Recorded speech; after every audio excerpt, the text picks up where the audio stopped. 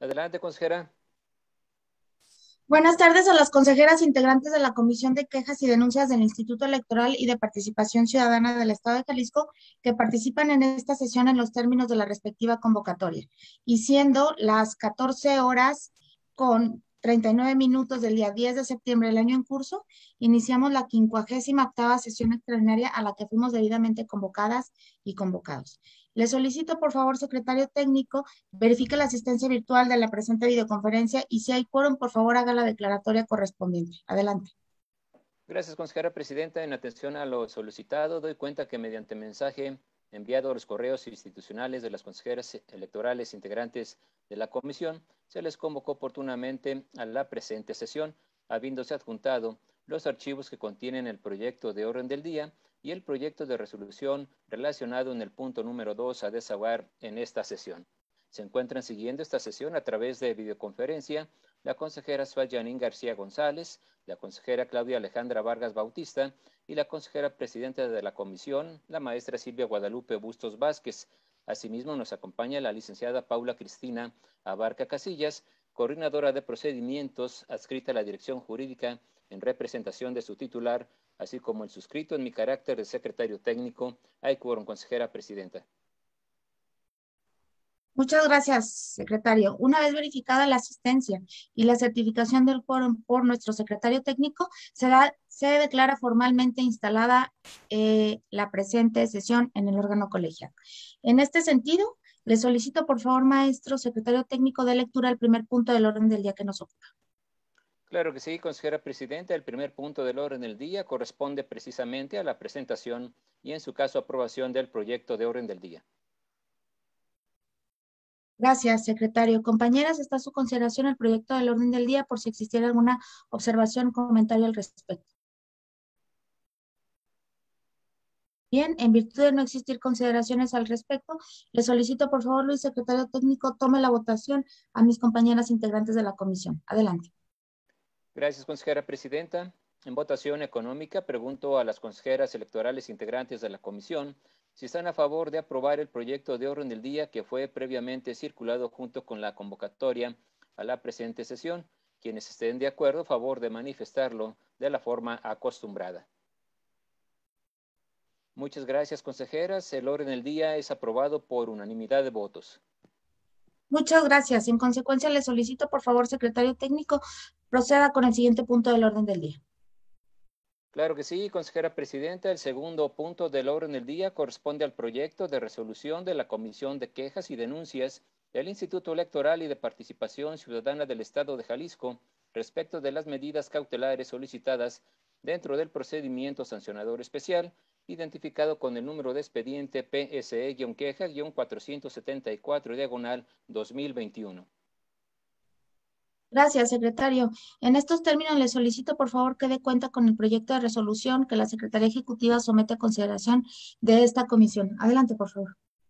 Con gusto, consejera presidenta. El escrito de denuncia fue presentado por la ciudadana Yusara Elizabeth Canales González, diputada local electa por el principio de mayoría relativa del Distrito 5, postulada por el partido político Morena. En dicho escrito, la quejosa denunció que el ciudadano César Langarica Santana, en su calidad de reportero del medio de comunicación denominado Reporte Diario, con fechas 14 y 22 de marzo, así como 3 de mayo de 2021, publicó en el medio de comunicación señalado tres notas tituladas Regresan las Juanitas, Santo Desmadre en Morena y Legalmente Rubia, cuyo contenido se encuentra dirigido a atacar en lo personal a la denunciante, haciendo uso de estereotipos de género, ya que dichas publicaciones contienen elementos que denigran y menoscaban a la quejosa como mujer, cuando ostentaba el carácter de candidata a diputada local, señalando que las notas periodísticas publicadas no pueden considerarse dentro del marco normativo de la libertad de expresión o el debate político, ya que las expresiones y forma en que las emplea buscaban disminuir públicamente sus capacidades político-electorales para asumir el cargo para el cual se postuló. Una vez verificada la existencia y contenido de las publicaciones denunciadas, esta comisión considera que las frases inmersas en las notas periodísticas objeto de denuncia se pueden considerar como un estereotipo de género, llegando así a constituir un posible acto de violencia política contra las mujeres en razón de género, pues el acto materia de la presente denuncia colma los cinco elementos establecidos en la jurisprudencia 21 diagonal 2018 de la Sala Superior del Tribunal Electoral del Poder Judicial de la Federación.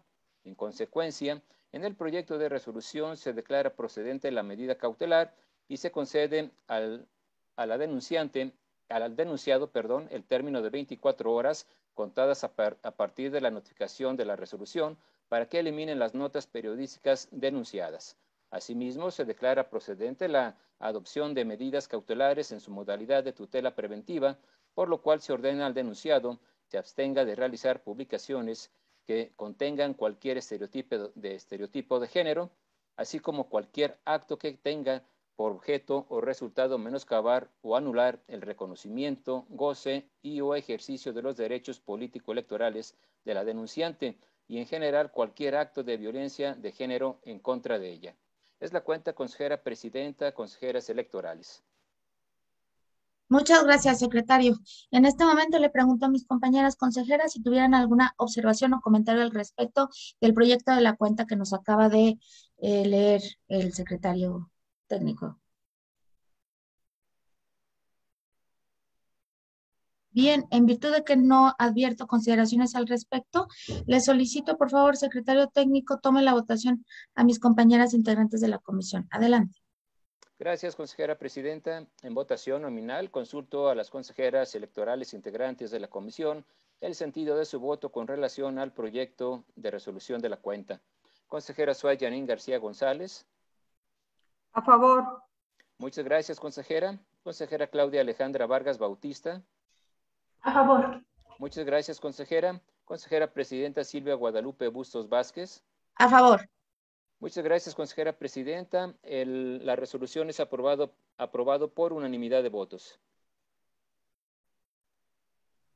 Muchas gracias, secretario. En tal virtud, por haberse agotado los asuntos del orden del día, siendo las las 14 horas con 46 minutos del día 10 de septiembre del 2020, se da por concluida la presente sesión de resolución. No sin antes agradecer a todas y a todos que nos acompañaron y nos apoyaron en la instrucción del proyecto. Muchas gracias.